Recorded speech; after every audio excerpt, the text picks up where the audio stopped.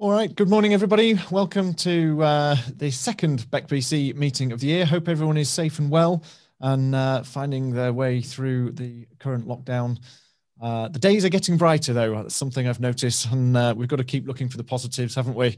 Um, so, uh, so that's one good sign. Hopefully, everyone is doing well. So, uh, so we've got uh, today Stephen Topping and John Rossiter who are joining us.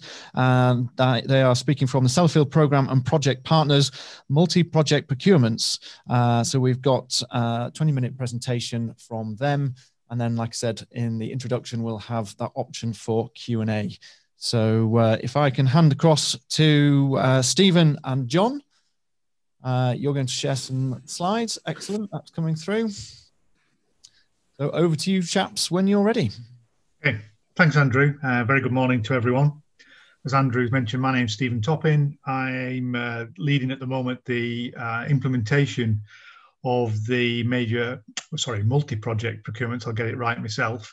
Uh, but my day job is actually as the operations manager for Doosan Babcock in, in lot four of, of PPP. So a bit of a two-man job this morning. I'll let John introduce himself when we uh, get through the presentation. And for some of you, uh, you may already have seen some of the information that we are due to share today. So apologies for that, but hopefully there will be one or two new uh, items that we that we'll cover. And also today there is the opportunity for some Q and A uh, towards the end there, which was something we've not been able to do in the past. So, yeah, so you might have seen us rounding about. We're on a bit, little bit of a roadshow, getting to different groups and forums to present uh, MPPs. So, just as, as a, an, an, introduction, uh, and again, I won't dwell too much on this. I mean, I, I assume by now virtually everybody on the call will have heard of the program and project partners at Sellafield the makeup of that with the different lot partners. But the reason, just to go back over this a little bit, and it'll become evident as we go through the presentation, is how much the arrangements that Sellafield took and the approach that Sellafield took in putting PPP in place, how much that is influencing our thinking when we come to the multi-project procurements. And say, John will tell us a little bit about, about the, the journey and how we got to where we got to. And if you look at this, in essence, we talk sometimes about the four partners, we talk about Sellafield as the fifth partner, but really we're, we're talking about the sixth partner as well now, which is the supply chain, of course. Uh, so you guys and your organisations about being part of that uh, PPP journey. In terms of what PPP is there to do, again, you've probably seen this time and time again. Uh, it's been uh, part of many, many presentations over, the period of time. But I did just want to uh, reflect on this because ultimately this is what PPP is all about uh, in, in, my view, it, it's well about two things really: about creating benefits, about enabling uh, things, both in a direct and in, and, in an indirect way. So, direct, I'm talking about project delivery ultimately. So, the delivery of the portfolio of projects, time, quality, cost, etc., etc., predictability of outcome. In doing that, but then in, in, in undertaking those, those activities, it's the indirect benefits which are also very, very important and a different way, a different approach, different thinking being applied. So I'm talking about jobs, skills, employment, the community, the environment, uh, you know, unlocking and enabling those things, which perhaps haven't always been in previous times at the, the forefront of our thinking. But certainly PPP and certainly our approach to MPPs are very much about utilising uh, the collective uh, of, of, of, the team to enable and to deliver some of those uh, broader benefits and some of those indirect uh, benefits that uh, are linked in with, uh, with project delivery. And again, just to finish off the introduction, you've probably all seen this before. I think we shared it at our in, in our previous event also. So the, the the portfolio of projects over the next 20 years, and believe it or not, we're already virtually well nearly two years into this uh, PPP journey. May 2019, when the contracts were signed between uh, the the four partners in Sellafield. And so, as you know, projects in flight at that time, which have transitioned to PPP, and as we stand today, we've got five in-flight projects, the first five on that list there, but others now that are, pardon me, going through their um, studies phase and will be coming into the project delivery arena in the next one to two years. So I'm talking about things like the, the sludge handling and export facility around uh, FGMSP, uh, the solid waste management uh, facilities around SIXEP, etc., etc. And so therefore, you know, PPP, we know what the challenge is. We've all seen this before, but how do MPPs play into that multi-project procurements? How do they actually play into this um, this sort of uh, challenge that we've got ahead of us. So, with that, I'll hand over to John. Thanks, Steve. Good morning. So, yes, brief introduction. My name's John Rossiter. I'm commercial and contracts lead for the multi project procurement exercise. So, I've been responsible for putting in place all the various models of how we think we'll achieve what Sellafield are looking to do in PPP. So I'll just give a very quick background about Project 13 and what that means to us in terms of the model we're putting in place and how Sellafield came in. So some of the traditional problems Sellafield have had with their project delivery are not unique to Sellafield, problems across the industry in um, infrastructure delivery. So Project 13 was published by the Institute of Civil Engineers in, in response to industry industry calls for better models that would deliver better outcomes. So the core theme of Project 13 is a focus on enterprise and not traditional transactional contracting arrangements where one party contracts with another for a fixed scope and it's all about the transaction of that contract. And what we mean by an enterprise is creating an integrated organization where there's aligned commercial incentives to deliver outcomes. So I'm sure you're all familiar with contracting arrangements where the people at the top table have got a much better deal than perhaps you are further down the chain, or it's not potential win-win scenarios. You can have divisive relationships throughout the supply chain. So the idea of Project 13 is to try and create one team who are all focused on joined, uh, aligned outcomes throughout the supply chain and to really drive a true shift in collaborative behaviours and cultures and not just um, say collaboration as a word, but actually deliver it and, and mean it. So that's the focus we've put on our multi-project procurement model. So Sellafield have gone out to that market and been very bold in awarding a 20-year 20-year partnership framework, and that's exactly what we're looking to try and do with the supply chain to create that total alignment throughout. Next slide, please, Steve. So how have we done that? So we've looked at all of the procurements that are common across the projects that we've got over the, the, next 18 years ahead of us by looking through the procurement plan and looking at the nature of the projects. And we've developed the model and a list of potential frameworks that align to the five PPP critical success factors that, that I will touch on shortly. So the critical success factors, they are Sellafield defined as that is what success looks like for the enterprise. So very much on an enterprise level and not on an individual project or contract basis. So what we've come up with is two categories broadly of commercial models for our multi-project procurements. The first is the one I'm going to talk about most today, which is our key delivery partners. So there'll be roughly 10 in number key delivery partners, and they'll deliver the key elements of construction work. So your civils, steel work, HVAC, electrical, mechanical, and so on. Those key delivery partners will be responsible for end-to-end scope associated with their category of works. So right from early contractor involvement at the very first stages of the project, through design, construction, testing, installation, commissioning, and their works will encompass everything necessary to provide those services. So whether that's providing equipment, procuring pieces of kit, and so on. We've then got goods, works, and service agreements. So these are more traditional framework arrangements for common common items that we'll procure throughout the 18 years. So these include things such as construction cabins. So I guess the first point just to mention to this forum today, if you're a local SME or you're interested in supporting PPP, generally our key delivery partners are where the majority of the spend is, and that's where if you supply a particular equipment or you provide a particular service, machine, and whatever it may be, that would likely be through one of our key delivery partners. Our goods works and service frameworks will be will be separate frameworks for, for large pieces of kit.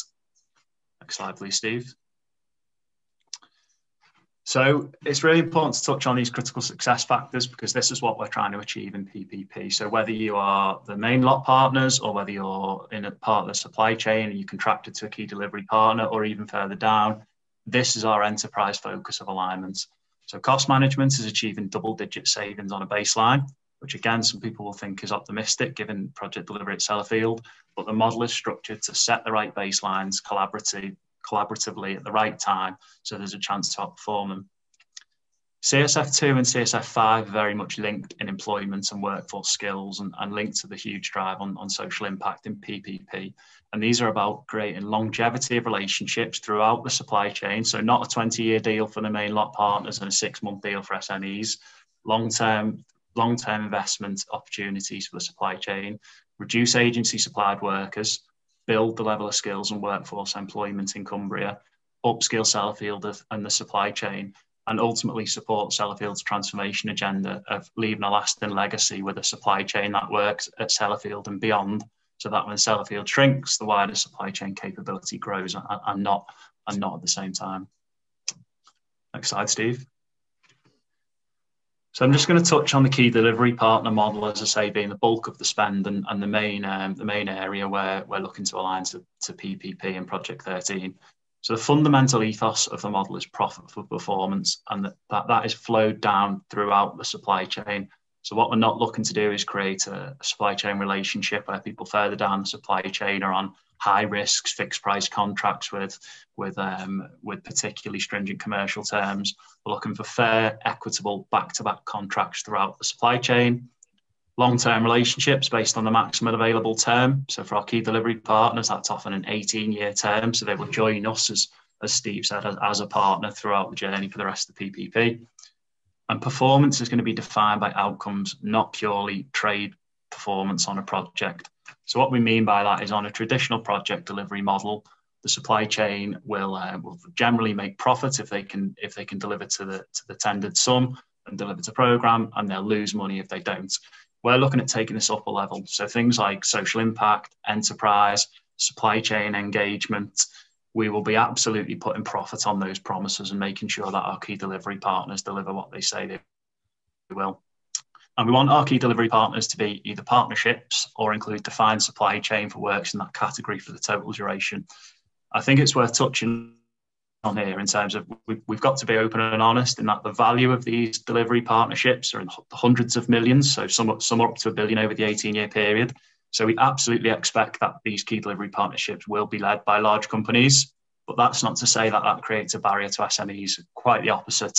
So whilst we expect large companies with the ability to take the level of risk and with the proven track record and the scale and size to deliver these categories, we absolutely want to see that SME delivery partners are encapsulated in these vehicles, that they get the same fair and equitable terms, and that they're also given a chance to perform.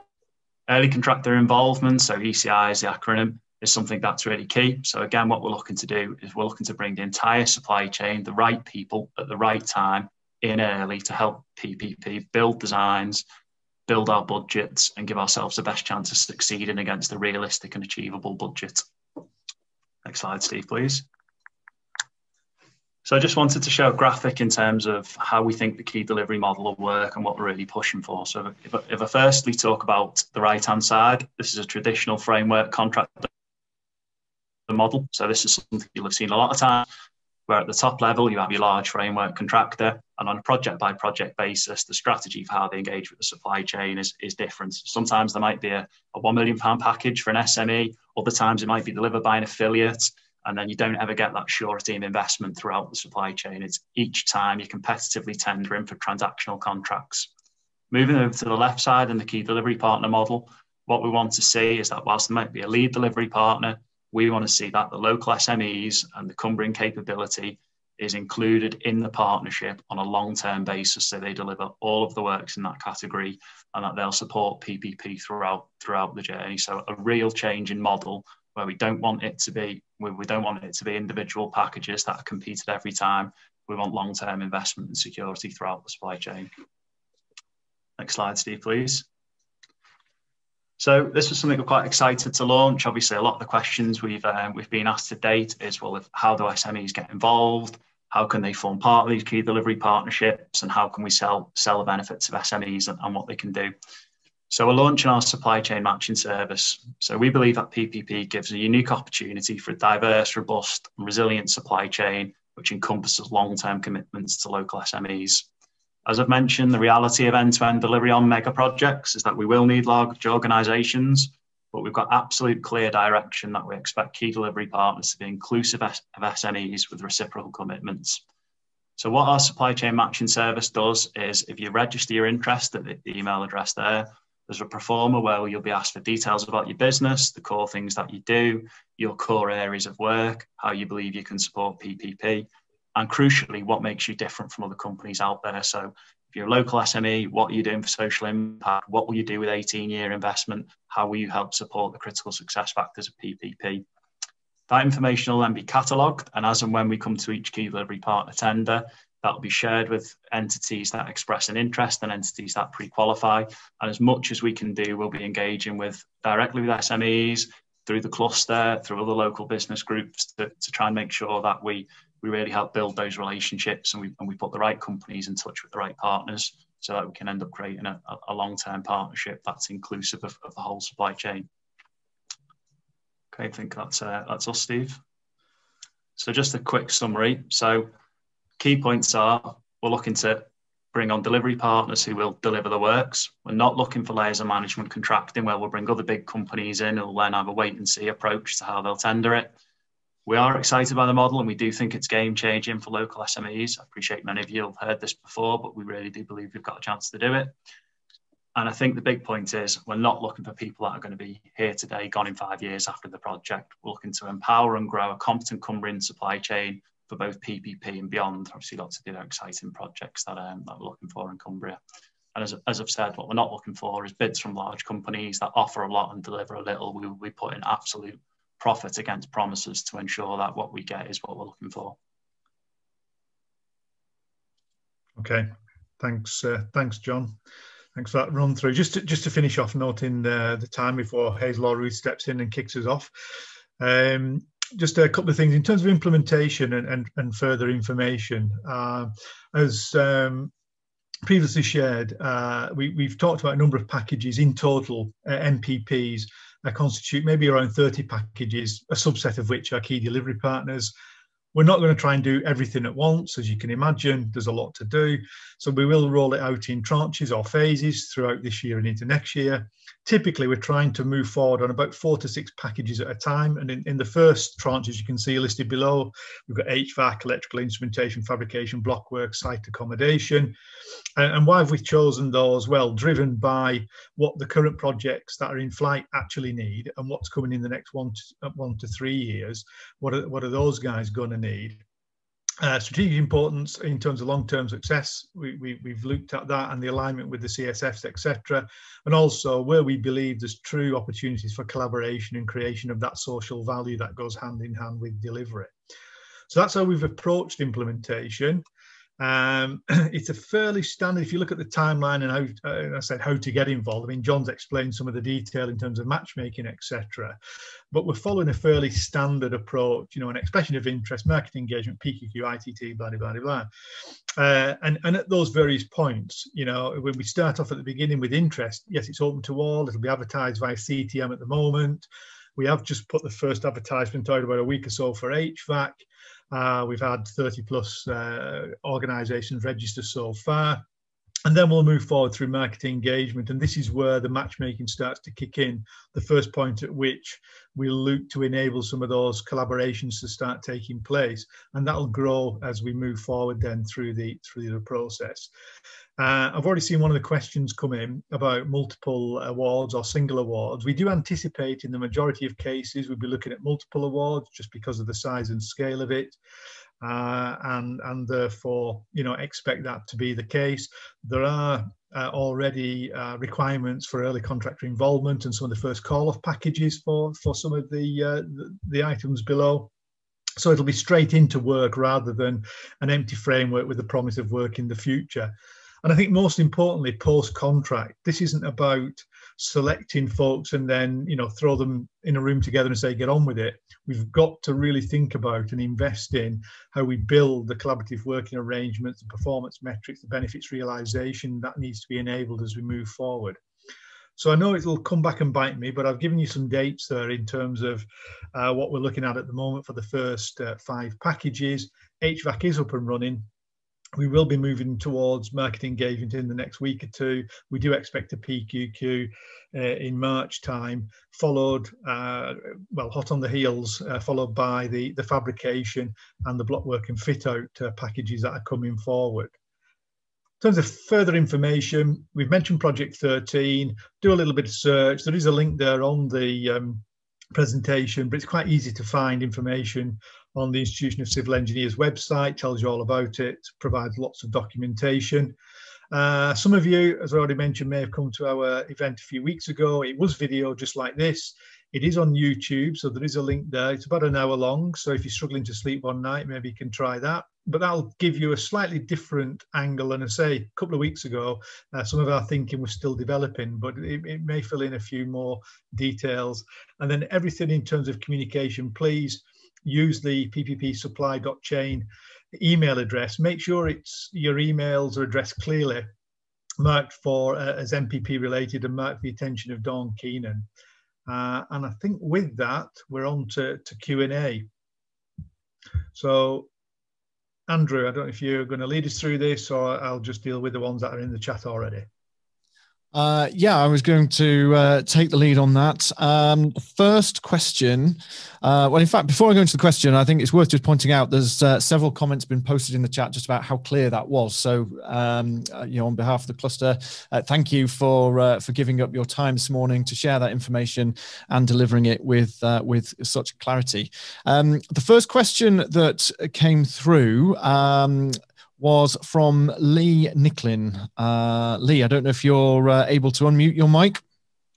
Um, it's just, uh, are there, in part of the 7 billion spend, uh, is it possible to identify what the metal content of that might be? And I was going to ask another question, so I might as well now. And are there any plans to focus on reducing the amount of metal that we use in the uh, NDA supply chain because we use a hell of a lot of it? Yeah. So maybe try and uh, deal with your your first question there. So what we've got at the moment, I mean, those are, are based on long long range estimates uh, from some parametric modelling that's done with uh, with Sellafield about the values uh, and the components that make up those those projects. Uh, so yes, it is broken down, but it's broken down based on a set of assumptions uh, on certain, say, parameters to, to give us an understanding of, of the different um, the well the, the, different quantities and different aspects that go into those projects. So we do have an idea of that. Um, what goes alongside that? What what we've been doing work on, as, as you probably know, PPP and Sellafield on the sustainability piece. So there is now a sustainability framework in place, and we'll be very much looking uh, to that to, to help guide and, and support the uh, the move towards the reduction in um, uh, you know certain commodities or, or equipment or, or raw material usage as we uh, as we execute those projects. So yes, we have some ideas, um, Lee, and we will be following the uh, the principles established in the sustainability framework that's just been recently developed. Thank you. Okay, thank you both. Um, now, Ian Ray, you put a couple of questions in the chat, but I have a funny feeling they might have been answered um, as the presentation went on. Is there anything else you wanted to add, Ian? No, I just want to say thanks. It's almost like I'd uh, got a heads up of the slides before they uh, put them up. Um, but can I just confirm one thing? Uh, the second question I had there around should we register interest if we can only do one part of a key delivery package? I'm assuming the answer is no, and that we should be registering with the with the matchmaker service. Is that is that right? Yeah, I, I said yeah, yeah. And it, I, to us, it's one in the same. I mean, it's the same uh, contact points. And as John mentioned, we will then provide you with the um, with the pro forma to complete for for the matchmaker. So same contact point. Make it clear what uh, what you're, you're, you're seeking, what you're registering for, because uh, clearly you're not going to register for the the HVAC package. I, I, take it in its entirety, but what you want to do is be part of that. So um, yeah. just just use the uh, as I say the contact details there, but make it clear what you what you're looking for. Okay, brilliant. Thanks, Steve. That's me. Thank you. Thanks, Ian. Um, the next question that came in was Stephen Shepherd, but again, I'm not sure if that question's been answered. Uh, Stephen, I don't know if there's any other. Yeah, yeah you have answered you... the question about how to get the route to it. But I wanted to ask you a question about uh, collaboration. Are you doing the collaboration in the matchmaking session, or are you wanting uh, local SMEs to collaborate and then come to you with a with a package? I, I just I'm not quite sure which way you're angling that. Yeah, um, I don't know if John wants to comment on this as well, but my, my thoughts at the moment is, is that will come down the line in terms of, uh, of collaboration. Uh, it would be nice to think we could do it as uh, as early as possible in the process, but uh, we we need to see how the you know the market response as part of the market engagement, who's interested, uh, who who wants to have the details shared, etc., etc. Uh, and then we'll move forward with some, uh, maybe we'll run some collaboration workshops. It's certainly something we've been talking about when we get into the procurement itself. And we've got a few, um, well, there's a couple of organisations and a couple of ladies working with us on that front to, uh, facilitate and enable th those sorts of uh, discussions to happen. Don't know if there's anything you want to add on that, John. Um, no, not really, Steve. Yeah, obviously, just just to say, um, there's obviously different types of collaboration. So I think what, what you're saying, Stephen, is you might find two companies where you think you can you could come together and you could potentially bid for one of the packages if you if you believe that by coming together you'll have the scale of turnover and the suitability for doing that. So if the sort of market wants to do that in the background and, and come together and, and, look to form a, a, sort of a formal alliance and, and, bid, then that's absolutely something we'd encourage. But, but, likewise, coming back to sort of Ian Ray's question about if, if you if you believe you you know you have, you can offer benefits in one particular service, but, but, you're not quite sure how that fits in, that, that's what we'll try and do with the collaboration to try and yeah, bring, bring together bring together that's, that's, that's a good point because obviously we've seen that in the local press where companies are now collaborating publicly in a position trying to uh, to win work. So it's a question of whether we do that or we let allow you to do that with us. You know. I think you need to you need to do that. I, I, mean, one of the things we can't do is, you know, we can we can gather the information in and we can share that information, but it, but it's not our position to start. I think directing who should be talking to who, who needs to work with who, or or whatever. That's something that that you guys need to. Uh, you know form your your uh, teams form your alliances etc etc yeah. I, I, understand that but it, for us on the outside it, it's the packages. We don't know what's in the packages until they actually come out. Obviously a fabrication package is a fabrication package but you know other things where there's machining or whether there's uh, fabrication machining assembly testing all of that until it comes on uh, we don't know yeah, and I think the, the other thing is, and I think there was a couple of questions in the chat about how, how many will will there be two for HVAC or whatever there may be for each category of key delivery partner, depending on the total spend, the total spend in the year, the number of consecutive major projects. We'll outline what we think the primary strategy is. So we might say we believe for HVAC, we think we'll have two partners or three partners. Now, they, those partners wouldn't compete for work. And again, I know one of the other questions was that how will work be allocated? Well, it will be allocated based on capacity and not based on on competing for work on a framework. But um, but when that when that expression of interest comes out, that's for you guys, the supply chain, to look and think, well, what's our best chance of success? Is it to join up with another local company and put a joint bid in if we think we can satisfy the requirements of the tender, or is it to look to one of the bigger companies and transport them as an SME partner? So that's that, that's something that you know, appreciate you haven't seen the detail of packages, but as and when they come out, that, that decisions for decisions for you to make. Yeah. Okay. Thanks. Thanks for that. You've answered the question. Thank you. All right, thanks everybody. Um, couple more points. Uh, we still have time for a couple of questions. Um, Steve and John do need to uh, shoot off fairly promptly. But if uh, if there are any uh, extra questions just for the next couple of minutes, then happy to take those. Um, uh, one of the points in the chat was, please can the contact details for the matchmaker service be shared to everybody? Uh, I think through the slides that uh, that process seemed clear. The slides will be posted on the the BECBC website, and of course this session has been recorded too, and that will go up onto the BECBC YouTube channel in the coming days. Um, but I think the final one that I can see for now comes from Matthew Matthew Taylor. Uh, so, Matthew, I don't know if you're able to unmute your mic. Uh, yeah, yeah. I think I think John might have just answered that. It was around if you um, if there's more more than one key delivery partner per MPP, what would be the obviously the process of award?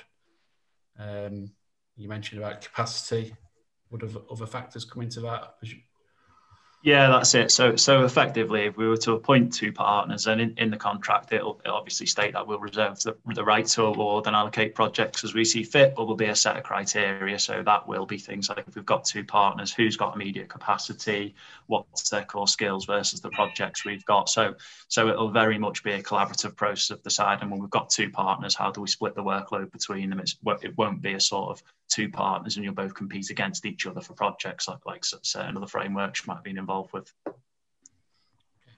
I've got, another question while you while you're on is if if the intention is to tender multiple multi-project procurements, um, given that there's tranche one, tranche two is um, you mentioned that, that a lot about this has been the benefits being at enterprise level.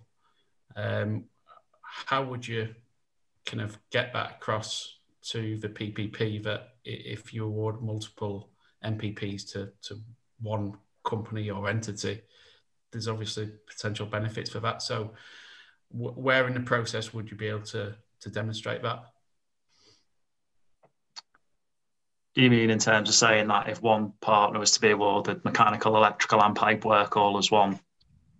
Yeah. So that that's something that obviously we've got sort of a cute balance really between, um, and that's exactly the same in our lot strategy as to whether we'll have two partners or one partner. Obviously, it kind of goes without saying that the higher volume of turnover, then, then the more you can deliver in terms of enterprise and social impact. But at the same time, we've got to make sure that we have a resilient supply chain and that we don't have too much too much emphasis on one supplier and we don't overload them and that we and that and that we keep a competitive supply chain in West Cumbria. So I haven't got the answer today, but they're the sort of um, they're the sort of criteria we're looking at to make sure that we have that we have the right balance. Okay, thank you for the questions. I can't see any further questions, uh, so uh, so thank you, John and Stephen, for for giving your time. Uh, just before you shoot off, let's see if we can bring Ruth back because she was going to introduce you, but uh, she might as well close you out we've got the connection. Yes, hello. Sorry, everyone, for a few internet problems earlier. Very well timed, as usual. So, um, thanks very much, Steve and John. Uh, that was a really interesting overview of the PPP structure and um, multi project procurement channels for the supply chain. So, thank you again for taking the time to engage with us. Thanks very much. Um, next up, we've got um, reg our regular slot of three by three minute presentations kicked off by Jackie Curry from um, Cumbria Community Foundation, talking about the Cumbria War um, War Winter Warmth Appeal, um, followed by Josh Holmes from the local I from LOCALiQ, and then Stephen Wood from the University of Cumbria.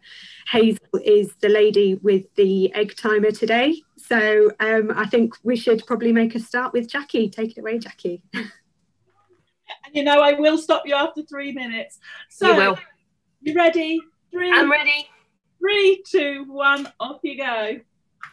Good morning, Jackie Curry, Head of Development, Cumbria Community Foundation. We exist to address disadvantage across our county. We accept donations and we set up uh, grant making funds and we give the money to those who need it. Today, I'm here to talk to you about our winter warmth appeal. Established in 2010, when one man came to us with his winter fuel payment from the government and said, I don't really need this, I can pay my own heating bills. Could you give it to someone who does need it? We set up the Winter Warmth Fund. Lots of other people who didn't need the winter fuel payments have donated it. The appeal snowballed. Uh, we've now had over 1.2 million pounds in donations. It's spent in year. We've awarded over 6,000 individual grants. Why do we do it? One in 10 Cumbrians live in fuel poverty. We've lots of old rural homes which cost more to keep warm. We've seen statistics suggesting 300 deaths of old people in Cumbria each year can be attributed to the cold here in our county. People are choosing between heating their homes and eating here in Cumbria. This photograph is a graphic illustration of what I mean. It shows 300 pairs of slippers representing 300 people who die each year in this beautiful county that you also see in the photograph. And here's some of the people we help. People in their own homes, the place where they should feel safe and warm, but here they are wrapped up in blankets and scarves with gloves and hot water bottles in the middle of the day. How do we get the money to where it needs to be? Age UK and Copeland Age and Advice Service act as our delivery partners and distribute the money uh, as they are in direct contact with individuals in need on a regular basis. Uh, grants of up to £250 are awarded to people aged 60 and over. We get a lot of our income from the donations of winter fuel payments, but we also get a good deal through direct fundraising. Here's some examples. The lovely guys at PPM Builders, they have an annual Christmas jumper day and we get the proceeds from that. Keswick Alhambra Cinema every year gives us the take-ins from one of their Christmas showings. Even this past year, despite business being so badly hit by COVID, they gave us their Christmas Day take-ins for our Winter Warmth Appeal. The Big Sleep, some of you may have heard of this as we ran this for quite a number of years. People were sponsored for sleeping outside for a night in winter to highlight how uncomfortable it is to be cold. We don't run the Big Sleep ourselves anymore, but lots of people do it off their own bat. Cumbria's allied health professionals in the top left photo here slept out in a cave, I believe, that year. Uh, and then in early 2020, they slept out in Carlisle Railway Station, a cold place in the height of summer. Um, what can you do? Organize an event, fundraising event, do your own big sleep. Uh, you could do a sponsored bike ride or walk. Uh, you could use your COVID exercise slot to do a team walk with everyone clocking up a number of miles to, for example, cover the length of the Cumbria Way. Uh, you could even nominate CCF as your charity of the year for all your fundraising efforts. And that's all specific to the Winter Warmth Appeal, but we do lots more stuff. And we can help companies achieve their social value aims while we all help vulnerable and disadvantaged people here in Cumbria. Call me, email me, details on the screen. Wow, you've still got a bit of time to go. there you go. Fantastic. Thank you very much, Jackie. That was incredible, um, covering all of that information about such an amazing appeal in such a short amount of time. So, so thank you very much again. Thank you for the opportunity. And just Thank you. for those in the chat, I've just uploaded a couple of files with uh, a bit more information on the winter warmth uh, appeal and uh, a membership leaflet for Cumbria Community Foundation as well. Those will go online as well later today for you. Thanks, Andrew. Thanks, Hazel. Okay. Okay, next up we have um, Josh Holmes from LOCALiQ. Um, a bit of a tough act to follow, but I'm sure you'll be um, absolutely fine and part of flying colours. So um, off you go, Josh. Thank you. I'm going to start my timer right now. Um, hello, everyone. my name is Josh Holmes. I'm uh, head of digital from LOCALiQ Cumbria. You might recognise some of the brands at the bottom of the screen here. We publish uh, many important uh, news brands across the country, uh, the country, and we service news readers every single day. But I'm here to talk about us as a digital first business and our evolution along that journey. So the pandemic has changed behaviors, uh, not only our own behaviors internally in our workplace, but also for our clients and even our families. Um, it's pushed for innovation between many sectors across Cumbria, and we've seen so many good examples of that. Um, an example for myself is I used to shop at uh, the supermarket for butchers and, and meat and quality meats. I now shop my local butcher. I pay for it online. I order it online. That's something I thought my local butcher would never be able to do. So the point that I'm getting at is the customer journey has stayed the same over time. We follow the same process when we buy products or we think about people we want to work with. But the journey that they go on through this funnel has changed massively. There's now so many different touch points that people can um, experience as they go along this journey. And that's because the way we've innovated digitally and the digital landscape itself has become larger and more complex every single day. So when I think about Cumbria, Cumbria's got a really strong and loyal print audience. We know this ourselves. But what we're seeing is more and more every single day, people utilize the power of online to stay up to date with their news. And we're seeing that in our own figures. We have something called unique browsers, which is how many devices access our websites. And we've seen a 70% increase year on year in these browsers, which is immense growth for us. And it's testament to the service that we provide to our local communities. If you were to take us out of the equation, people like the BBC, Sky News, national brands wouldn't report on the stories that matter to local communities, and that's a fact. So I guess the point I'm getting at now is we're more relevant than ever, and we've now got the biggest audience in history at our fingertips. A way to uh, visualize that audience is this fantastic slide for Skittles. So our audience is so big we can get lost in the numbers sometimes. If you think about our audience as a huge bag of Skittles, uh, there's many, many colours in there, which represents many, many different people who live in different areas, have different interests, do different things, and act in different ways across the internet.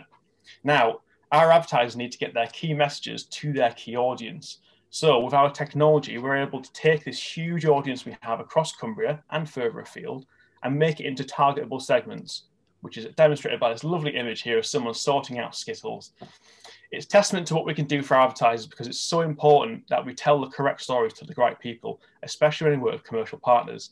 We can do this through digital display advertising, we can do it through video advertising, online content, social media, right through to custom campaigns such as PPC and SEO. I can talk about this all day, but I have three minutes and there's three seconds left. So I would say contact with me on LinkedIn or send me an email so we can chat more about your digital future. Oh, fantastic time. That's it. I was so happy. I'm so happy that I got it in time. It's the most important thing for me there. That was fantastic. Really, really good. Again, loved the skittle analogy. I think that was a really good um, comparison to make and really got your point across. So thank you again. so finally, we have um, Stephen Wood from the University of Cumbria.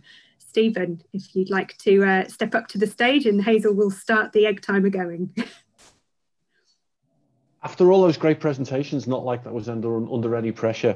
Uh, well done, Jackie. well done, Josh. Um, so, right, okay. So, I uh, hope you can all see my slide now. I'm sure you're all familiar with the University of Cumbria. What I wanted to do is just give you a reminder that we are here.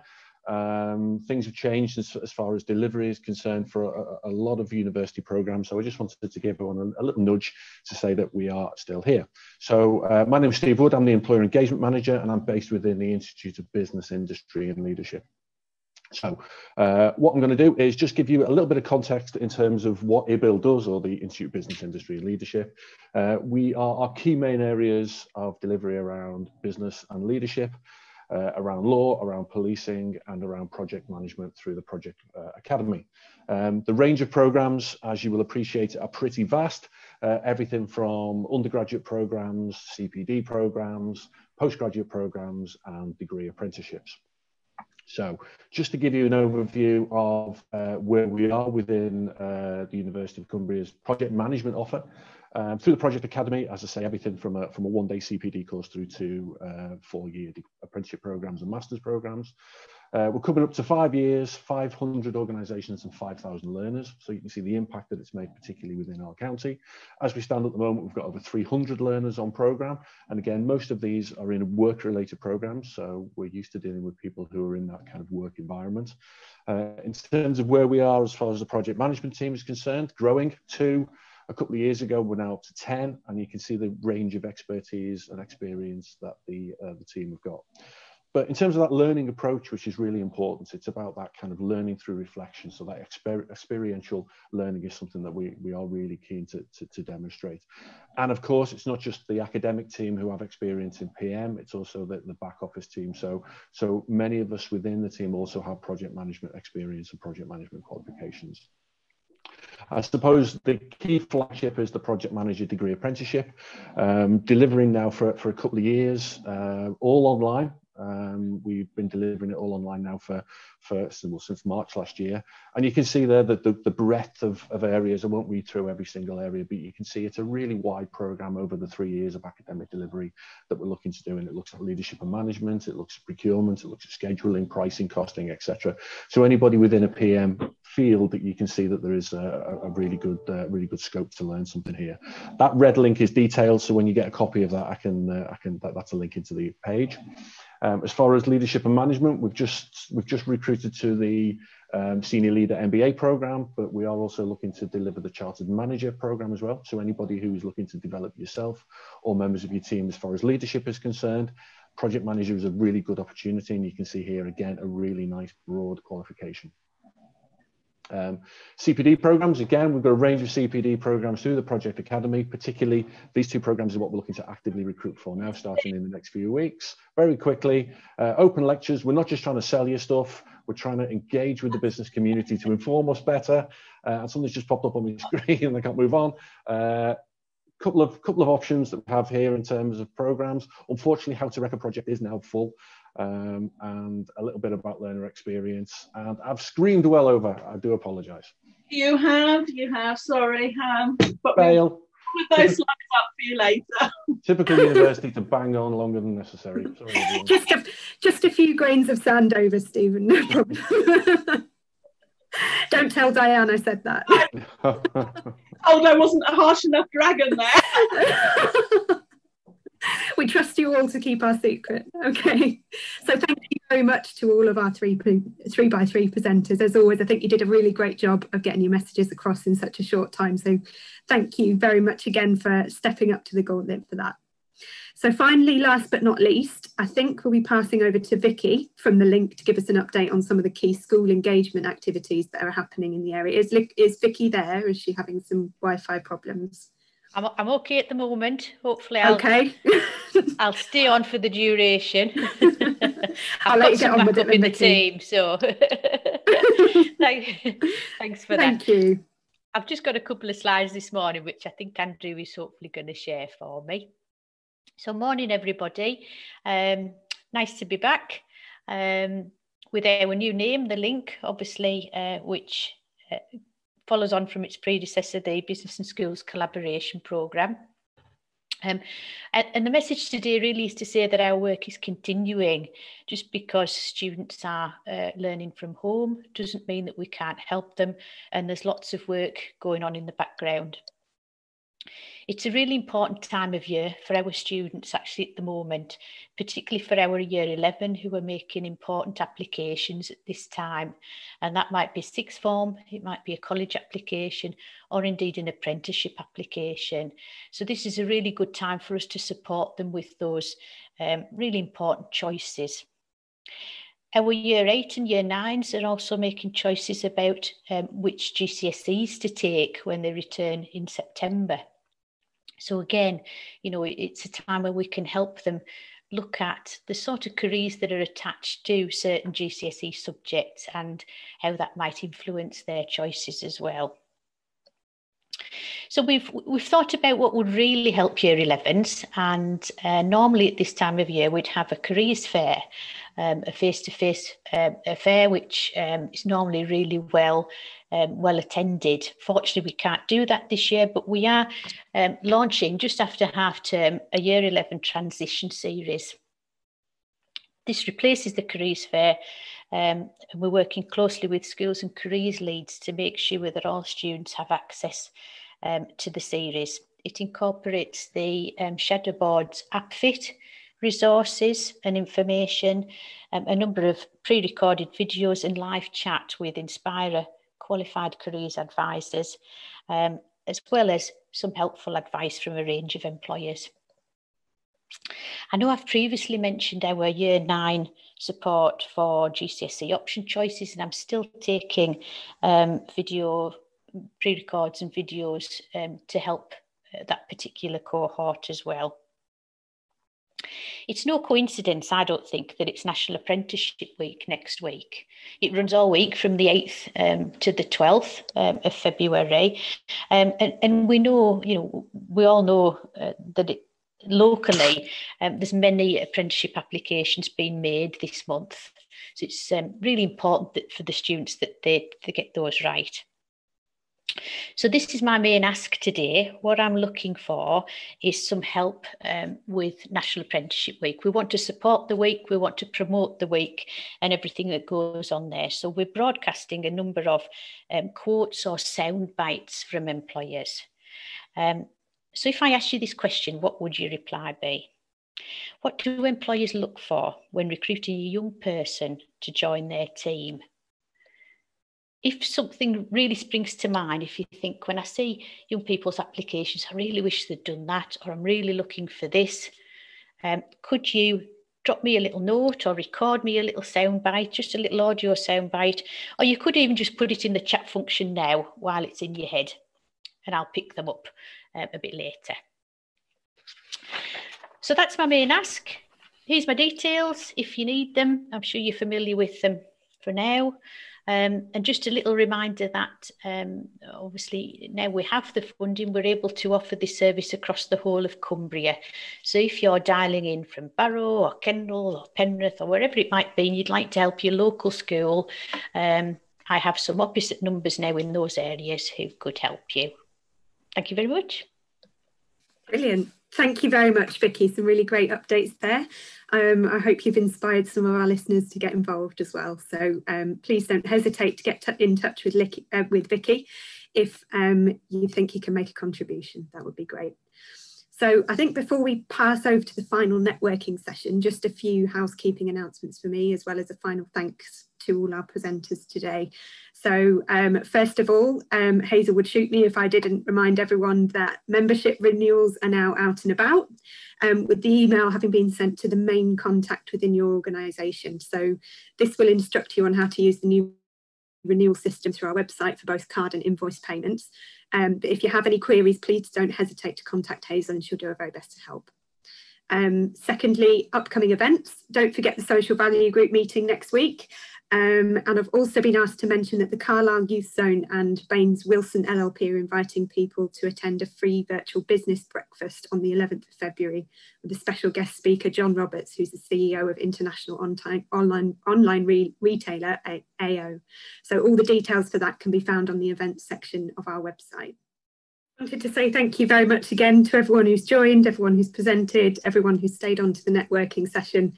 You know, it really does make these meetings what they are. So um, a big thank you from me.